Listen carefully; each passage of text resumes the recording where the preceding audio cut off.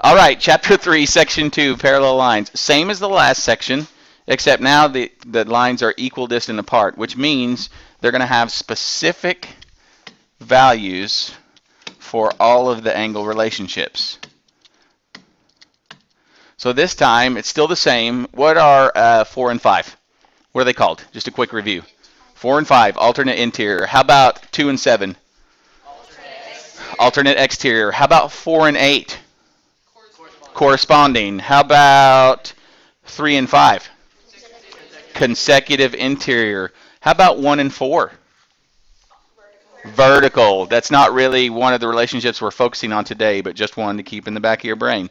How about 6 and 8? Supplementary. Thank you. Anything that's side by side, 5 and 6, 7 and 8, 3 and 4, 2 and 4, uh, 1 and 3, those all make a line, which means they're supplementary, 180 degrees. Okay? Now, the relationships go like this.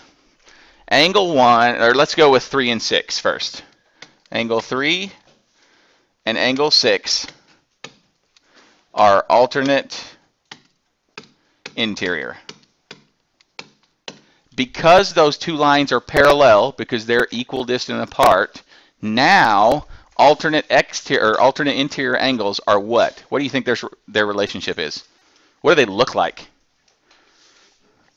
They're acute. I agree with that in this case. But what's the what does angle 3 and angle 6 what do they look like? They look like they're the same and they are. Okay? So when the lines are parallel, all of your alternate interior angles are congruent. Okay? This excuse me, let me let me rewind. The pair is congruent. 3 is congruent to 6. So what's the other one that's going to be congruent? 4 and 5. So I'm just going to list those underneath. Is congruent angle 4 is congruent to angle 5. No, they're not vertical angles, they're just congruent. Verticals are going to be 2 and 3 directly across from each other. Yeah. Okay, so the same relationship is true with alternate exteriors. So angle 1 and angle 8 are alternate exterior, which makes them congruent. And so our other pair of alternate exterior are going to be what? 2 and 7.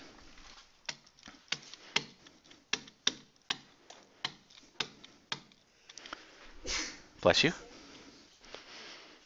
Okay, I'm going to do all the congruent ones first, and then we do have another relationship. Um, angle 1 and angle 5 are called what again? Uh, corresponding. corresponding. Okay, so angle 1 is congruent to angle 5. I'm going to go ahead and get all of these. So angle 3 is congruent to angle 7. Angle 2 is congruent to angle 6. And what's the last one? 4 and 8. Angle 4 is congruent. You know, I could just scroll this down so I don't have to bend over. That would be good. To angle 8. Okay, so all of the corresponding angles are congruent to each other. So I've only got one more left, really, for the, the big relationships. What's the relationship we haven't talked about yet?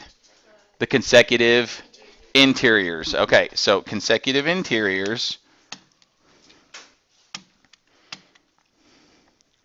Uh, 3 and 5. Do they look equal? No. Now let's use some proof logic here if that one is equal to that one, this plus this is going to be how much? 180. Okay, so angle 3 plus angle 5 is going to be 180. They are supplementary. Which means angle 4 plus angle 6 is going to be how much? 180.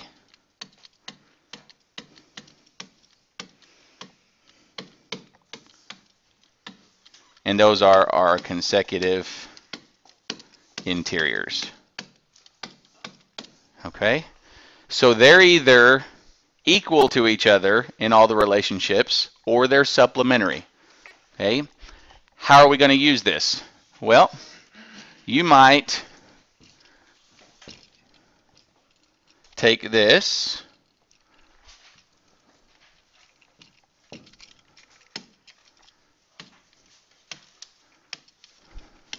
And I could tell you that this one is 65. I'm going to tell you that angle there is 65. Now I want you to find all of the other seven missing angles. Go. This angle right here. Why? Shh. Why? What? Why? Alternate interior.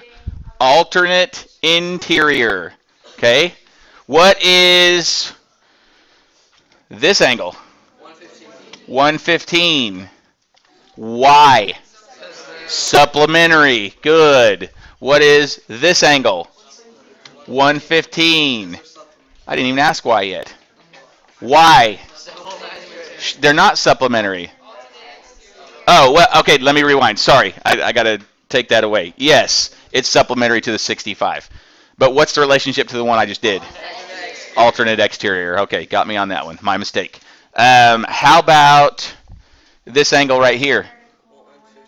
115 because it's vertical or because it's supplementary to the consecutive interior. Either way you want to look at it. Okay, how about this one? 65 because it's vertical. How about that one? 65. Alternate exterior. How about that one? 115. That looks pretty easy, right? Yeah, they're not going to give them to you that easy. Okay, so it will look something like this. Why did we just do that? So you could see the relationships. Okay, just stop. Okay, what about